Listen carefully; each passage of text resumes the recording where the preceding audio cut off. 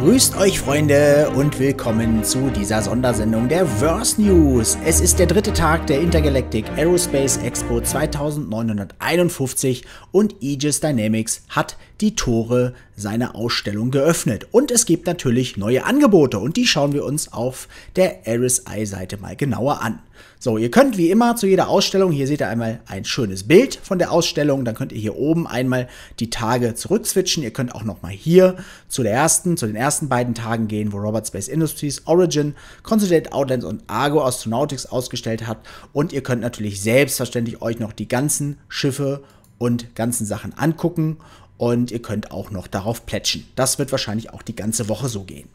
Ne, das ist nicht so, dass äh, jetzt mit der neuen Ausstellung die dann weg sind. Ne, das wird sich jetzt immer weiter auffächern, aber weiter kann man dann hier jetzt noch nicht gehen. Da muss man dann schon bis zu den Tagen warten. Aber heute ist, wie gesagt, Aegis Dynamics am Start und äh, wir gucken uns mal an, was wir uns denn jetzt hier wunderschönes äh, besorgen können. Ne, hier haben wir nur einen, einen so einen Reiter, Aegis Dynamics, hier kommt sie, die dicke Worden und ballert. Ne, so, und dann gucken wir uns das mal an. Dann könnt ihr einmal hier oben auf jeden Fall upgraden auf die Aegis Gladius. Bekommt auch eine 10 Jahre Versicherung, also 120 Monate Versicherung. 10 Jahre ne, ist eigentlich fast wie Lifetime Insurance. Also das ist eigentlich ne, total super. Dann habt ihr natürlich hier unten die ganzen Flight-Ready-Schiffe. Einmal die Aegis Avenger Titan als Standard Modell für 59,56 Euro. Dann die Stalker, die mit den Gefängniszellen hinten drinne für ein bisschen mehr. Und dann habt ihr noch die Titan Renegade. Das ist ein Schiff, was immer zu besonderen Anlässen erst in den Verkauf geht. Das bekommt ihr so nicht wirklich. Äh, also ich weiß jetzt nicht, ob es in-game zu kaufen gibt. Ich glaube nicht, aber genau kann ich es auch nicht sagen. Aber wenn ihr das haben möchtet, dann solltet ihr zu solchen Events dann zuschlagen. Kostet halt ein bisschen mehr, aber ist halt auch wirklich sehr, sehr schick. Dann geht es noch weiter, dann gibt es hier natürlich noch die Warlock. Das ist das Schiff mit einem fetten EMP-Generator hinten drinne. Wenn euch das interessiert, dann haben wir hier die normale Gladius, die Gladius Valiant, also die Sonderedition mit einem etwas anderen Loadout. Dann haben wir die Aegis Saber, da warten auch sehr, sehr, sehr viele drauf. Dann die Saber Comet, ne, auch ein Modell der Master of Flight Serie, ne, auch eigentlich gleiches Schiff, andere Lackierung, etwas anderes Loadout. Und natürlich die Vanguard-Varianten, einmal die Hoplite, die Warden, die Sentinel und die Harbinger ist jetzt wieder, sind jetzt wieder im Angebot. Und dann haben wir noch die Retaliator, den Retaliator-Bomber, die Eclipse, ebenfalls ein Bomber und die dicke Hammerhead. Ja, ein Multicrew-Schiff, was mit der Überarbeitung der Turrets jetzt schon wirklich sehr, sehr gut funktioniert und äh, echt sehr viel Spaß macht. Ne? Auch mit der Undock-Mechanik ist ja jetzt mit der 3.13 reingekommen und beziehungsweise mit der 3.13.1 ist es rangekommen und äh, macht auch richtig viel Spaß. So, und das ist aber noch nicht alles. Es gibt auch noch Future, Future Flyable Ships. Ne, hier haben wir auch nochmal die Retaliator, dann die Vulcan, eine Medium Heavy, äh, ein Medium Repair and Refuel Schiff ist ungefähr so groß, ja, wie die Freelancer, ne, so ein bisschen breiter, ein bisschen bulliger. Dann haben wir die Redeemer, die haben wir uns ja auf der Messe auch schon angesehen, ist überarbeitet worden, wird auf jeden Fall auch reinkommen. Ein unheimliches Liebhaberschiff.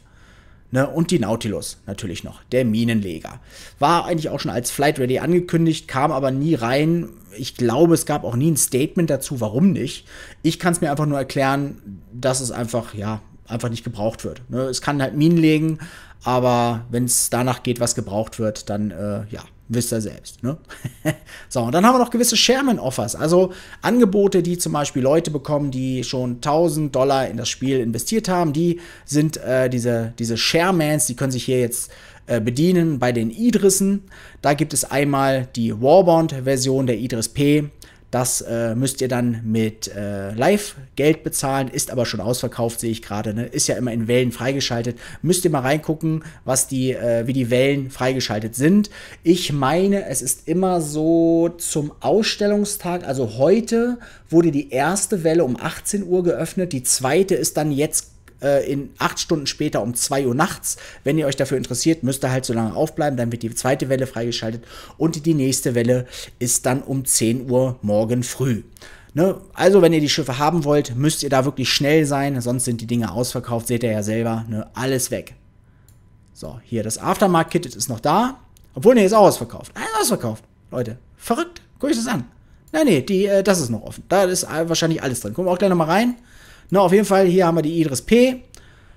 Einmal als Warbound und einmal hier könnt ihr auch mit Store Credits bezahlen. Ihr werdet aber auf jeden Fall, wir gehen mal kurz rein, da eine Lifetime Insurance draufkommen, denn alles, was über 1000 Euro oder 1000 Dollar besser geht, das hat automatisch eine Lifetime Insurance drin, egal ob ihr damit Store Credits oder nicht bezahlt. Aber die Store Credits Dinger sind eigentlich fast immer noch schneller ausverkauft als die, die mit Echtgeld bezahlt werden müssen. Das gleiche gilt natürlich für die Javelin, auch ein Schiff, was eher ja, zu besonderen Anlässen und auch nur in gewisser limitierter Zahl verkauft wird.